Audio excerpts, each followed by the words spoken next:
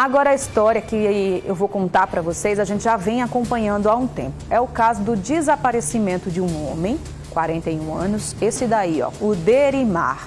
Ele está desaparecido desde a última segunda-feira. Pois bem, Derimar é genro do funcionário da CBTU que foi encontrado morto há alguns dias na cidade de Lucena. Tem um outro detalhe aí que chama muito a atenção. É porque, de acordo com a polícia, os parentes aí do Derimar ainda não registraram a queixa do desaparecimento dele. Vamos acompanhar a atualização dessa história na tela. Esse caso, tratado como desaparecimento, nós tomamos conhecimento através da imprensa, mídias sociais, etc. Mas para a delegacia da capital, a delegacia de homicídios da capital, não há nenhum registro, nenhuma notícia. É, caso haja notícia de desaparecimento, notícia formal de desaparecimento, a delegacia de homicídio vai diligenciar para apurar as circunstâncias do desaparecimento do Derimar.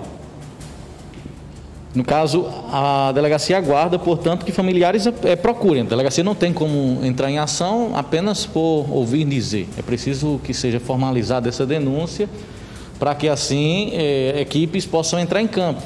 E o que não é comum, né? Porque são 48 horas já praticamente e a delegacia não foi informada disso. É, eu não sei se, se isso é que eu questiono. É um caso de desaparecimento realmente? Porque quando se, se, se, existe a suspeita de que houve desaparecimento, via de regra, a, a, os familiares sempre procuram as delegacias. Quem mora em João Pessoa sempre busca a delegacia de, de homicídios. Eu só faço questão de frisar que, para fins de registro de desaparecidos, não existe essa regra de aguardar 24 horas.